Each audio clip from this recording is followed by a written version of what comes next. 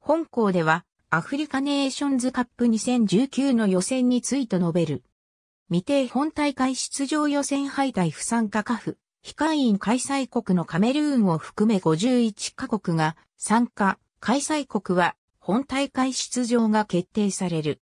組み合わせ抽選会は2017年1月12日19時30分にガボンのリーブルビルで実施した。シード順は直近3大会の本大会、予選、そして 2014FIFA ワールドカップ予選の成績を得点化し、その輪に順位をつけた。第1位から45位の国は、グループステージからの参加、第46位から51位の国は、予備予選からの参加となる。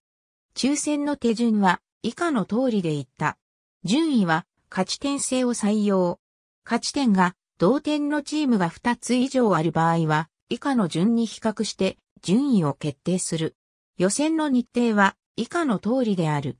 グループステージ第2節の日程は 2018FIFA ワールドカップ本大会出場国から同年3月に国際親善試合を実施したいという理由で延期した。シード順第46位から51位の6カ国を3組に分け、ホームアウェイ方式の試合を行う。勝利した3カ国はグループステージに進出する。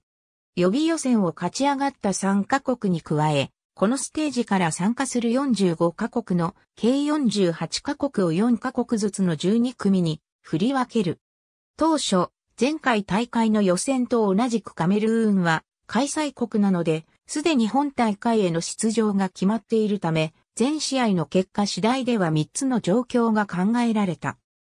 しかし、2017年7月20日のカフリ次会において、本大会に出場するチームを24に増やすことを決定したため、カメルーンが振り分けられたグループ B は、同国を除く3カ国のうち優秀な成績を残した1カ国に本大会出場権を付与。B 組を除く各組、第1位と第2位が本大会に進出。グループ A グループ B グループ C グループ D グループ E グループ F ありがとうございます。